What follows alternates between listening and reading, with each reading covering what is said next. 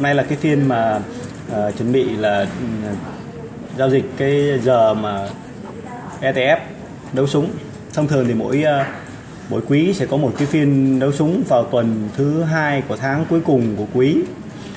Ờ, uh, 16 tháng 6 năm 2017. Thưa các bác các anh chị là nhìn vào thị trường giao dịch như này thì đúng như kịch bản dự báo của tự doanh chứng khoán về cái câu chuyện là thị trường phiên đấu súng ngày ETF um, cơ cấu ấy là là đang hiện tại là đang tăng điểm. Hiện tại thị trường trên cả bộ hai sàn VN Index tăng 1 điểm VN30 tăng 3 điểm. VN30 tăng 3 điểm tức là thể hiện rằng là các blue chip đang tăng khá là tích cực. Uh, VN On Share thì đang tăng khoảng 2 điểm 35 còn HNX thì tăng 0 0.48 à, thưa các bác các anh chị là bản tin ờ, của buổi chiều hôm nay thì chúng ta tập trung vào câu chuyện ETF để nhìn nhận cái vấn đề thị trường.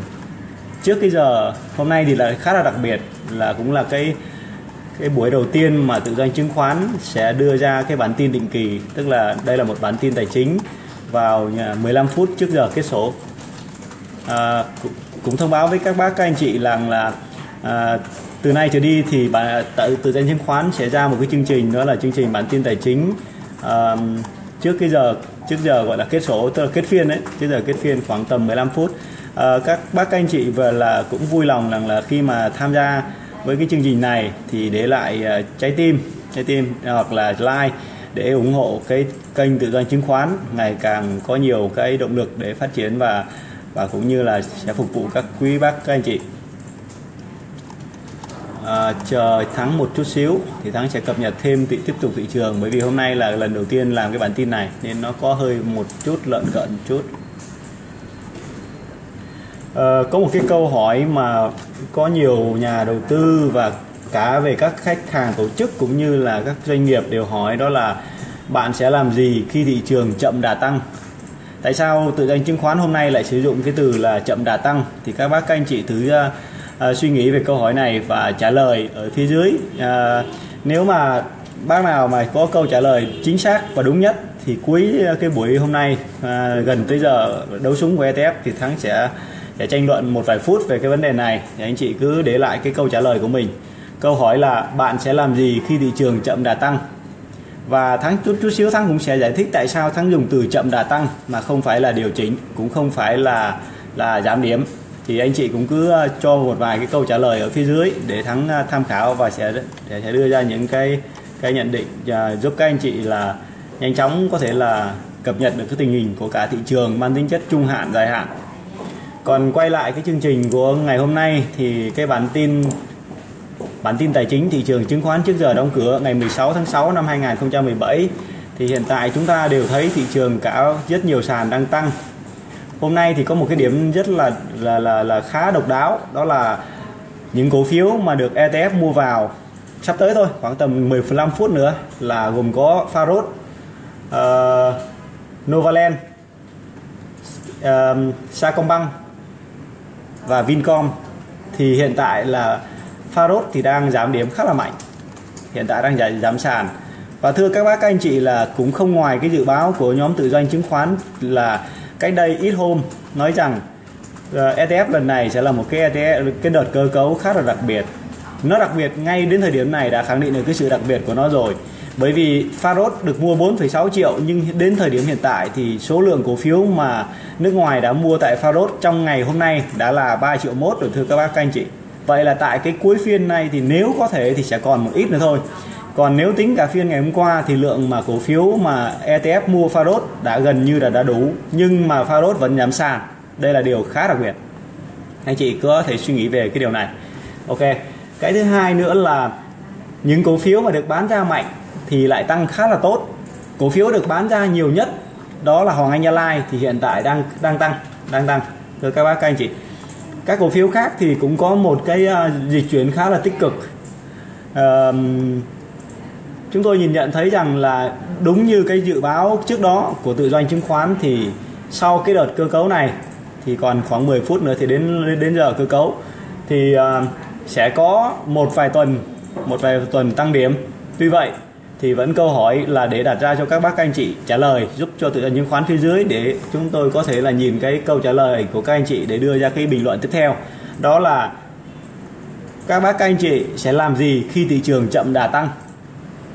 Chậm đà tăng. Thưa các bác, các anh chị, chúng ta sẽ bắt đầu với cái à, cái câu hỏi này. Ở chỗ là, thực tế thì thị trường đang trong một cái xu hướng tăng dài hạn, tăng dài hạn.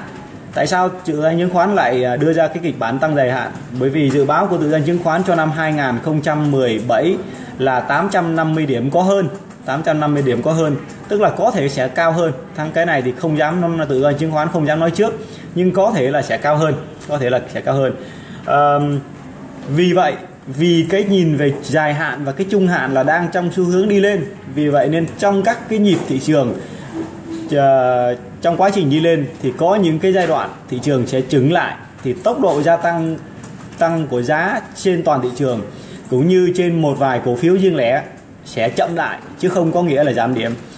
Đó cũng là điều mà tự doanh chứng khoán đã từng nói với các bác các anh chị rằng là đoàn tàu của tự doanh chứng khoán đang dịch chuyển về Nha Trang và có xu hướng chậm dần từ Cam Ranh về Nha Trang.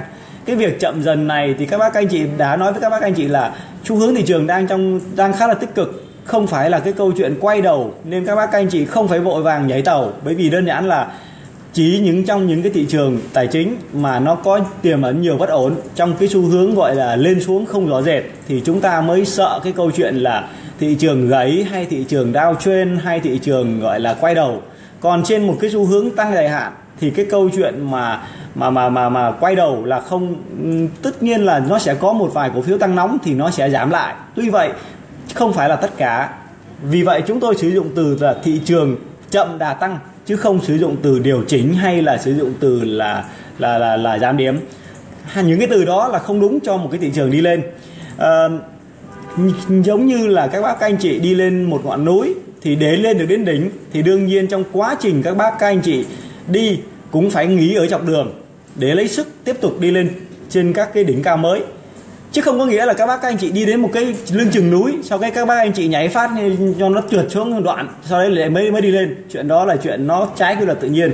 Và thị trường đang trong một cái xu hướng đó là các bác, các anh chị cùng với với tự đoàn tàu tự nhiên khoán đang chinh phục Ờ, cái đỉnh cao của ngọn núi hay là đang chinh phục cái chặng đường dài từ Sài Gòn ra Hà Nội. Vì vậy, cái điểm dừng tại Nha Trang chỉ là một cái điểm dừng mà các bác các anh chị là tự doanh chứng khoán đưa ra cái câu hỏi là các bác các anh chị sẽ làm gì khi thị trường chậm đà tăng? Phần lớn có nhiều người thì nói là chốt lời, có người thì nói rằng là là là là sẽ bán cổ phiếu, có người thì nói rằng là không làm gì cả, có người thì nói rằng là chúng ta nên ờ, abcaf gì đó, nói chung là rất nhiều câu trả lời nhưng với tự doanh chứng khoán cho rằng trong một xu hướng đi lên dài hạn uh, việc mà bán hay mua nó tùy thuộc vào cái kế hoạch ban đầu của các bác các anh chị trong cái quá trình mà mua hoặc bán cổ phiếu trước đó. À, còn cái câu chuyện mà mà mà mà mà đưa ra một cái cái dự báo theo kiểu là thị trường giảm rồi bán đi hay là thị trường tăng rồi mua vào đó là câu chuyện của cây nhà đầu tư ngắn hạn mà những nhà đầu tư ngắn hạn tức là nhà đầu tư có khả năng lướt sóng giống như một cái cái, cái gọi là cái thủy thủ mà đã đi đã đã đã, đã tham gia cái cái việc mà lướt sóng ngắn hạn á, thì đừng có đưa ra câu câu lời, lời khuyên cho họ mất công bởi vì họ đã là người rất giỏi trong cái câu chuyện lướt những cái sóng lăn tăn rồi. Nên là đưa ra cái cái cái cái cái lời khuyên là điều không cần thiết không cần thiết. Còn với những nhà các, các bác anh chị mà là những nhà đầu tư nghiệp dư thì câu chuyện ngay ban đầu các bác anh chị dự định với câu chuyện là sẽ đi cái chặng đường như thế nào? Vì giả sử các bác anh chị dự định đi về đến Đà Nẵng, thì các bác anh chị phải tuân thủ với cái kế hoạch ban đầu của các bác anh chị định tính về đến Đà Nẵng. Thì các bác đến những điểm dừng, các bác chỉ có thể là xuống, là mua chai nước rồi sau đấy lên tàu tiếp tục đi tiếp, hay là như nào đấy, thì tùy vào cái kế hoạch ban đầu của các bác anh chị, thì các bác anh chị nên làm. Còn việc tự doanh chứng khoán đưa ra những cái dự báo phía trước để làm gì? Để các bác biết, các bác, các anh chị biết rằng là phía trước nó gặp những cái khó khăn abce để các bác các anh chị không có gì mà phải à, phải bất ngờ mà khi chúng ta không bất ngờ tức là có một kế hoạch cụ, ờ, cụ thể và chi tiết rồi thì chúng ta chả có gì phải hoang mang cả. Chúng ta biết rằng là đến đó thì sẽ gặp một cái chỗ cái, cái một cái ổ gà nó sóc một cái ok thì chúng ta đang đi ô tô mà gặp cái ổ gà thì sóc cái ta nhổm đít lên cái là xong. Đấy đúng không? Các bác anh chị thấy nó nó sẽ rất là tiện ở chỗ là mình biết được kế hoạch phía trước biết được phía trước nó sẽ có những cái cái khó khăn cái cái vướng mắc thì chúng ta ờ, chuẩn bị cho cái tinh thần đó còn à, anh nào đi dài thì thì tiếp tục cứ bình tĩnh. Còn anh nào mà đi ngắn thì thích nhảy tàu thì nhảy còn anh nào mà muốn lướt thì à, cái chuyện đó là một của mỗi người và của mỗi danh mục. Nên là các bác các anh chị đừng có đừng nghĩ rằng là đừng nghĩ rằng là là là là là, là chúng ta chúng ta đưa ra dự báo như thế để đưa ra cái sự tiêu cực. Chúng tôi không bao giờ muốn đưa ra cái tiêu cực cho các bác các anh chị. À, xin phép là để một lần mà uống thêm một miếng nước thì nói thêm cho các bác anh chị 5 10 phút nữa về câu chuyện này. Thì các bác các anh chị hiện tại đang có 100 người đang xem đây á. Thì để lại cái ờ, cái cái cái livestream cho à, tức là cái cái gì trái tim hoặc là like đi cho hoặc là để lại câu trả lời. Mục đích là gì? Khi các bác các anh chị để lại trái tim hay like hay là bình luận á thì sẽ hỗ hỗ trợ một phần nào cho cái kênh này ngày càng phát triển các bác các anh chị. Mà càng phát triển thì chúng tôi càng có động lực để phục vụ các bác các anh chị trong các bản tin tiếp theo.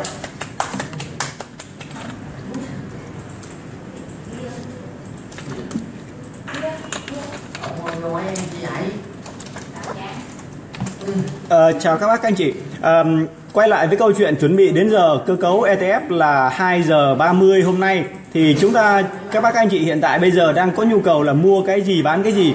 Thưa các bác các anh chị kinh nghiệm thực tế của tự doanh chứng khoán. Thì tại các thời điểm mà cơ cấu tức là vào cái lúc mà từ 14 giờ 30 tới 14 giờ 45 à, ờ, thì ờ, các quỹ đầu tư trong ETF họ sẽ bán hoặc là mua. Thì tại thời điểm đó là cái gọi nó gọi là cái thời điểm bất thường tức là giao dịch bất thường. Sau cái thời điểm giao dịch bất thường thì cung cầu nó trở lại bình thường. Vì vậy cái áp lực bán hoặc là áp lực mua của cái việc trước khi mà sợ cái kỳ kỳ cơ cấu nó sẽ không còn nữa. Vì cái chuyện không còn nữa vì vậy chúng ta à, cái kinh nghiệm của chúng tôi cho rằng là tại thời điểm đó chúng ta có thể xem xét mua vào những cái thứ gì đấy mà chúng ta đã có kế hoạch từ trước hoặc là bán ra những thứ gì đó tại thời điểm trước đó chúng ta có kế hoạch. Um, đó là cái cái cái lời khuyên mà tự doanh chứng khoán à, đưa ra với các bác các anh chị đang có nhu cầu muốn mua hoặc bán.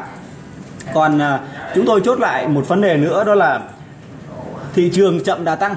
Thì chúng ta làm gì? Chúng ta làm gì? Thì chúng ta làm theo kế hoạch có sẵn từ trước đó. Chúng ta chỉ biết